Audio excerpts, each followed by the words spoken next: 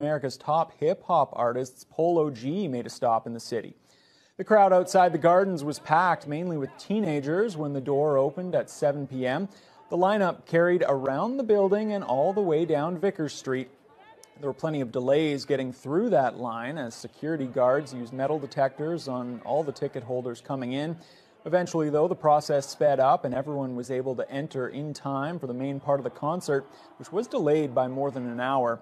The crowd went wild for the second last rapper of the night, Sheck Wes, and his song Mo Bamba. But the man everyone was waiting for was Polo G, the Chicago rapper who's had a number of hit songs on the Billboard charts.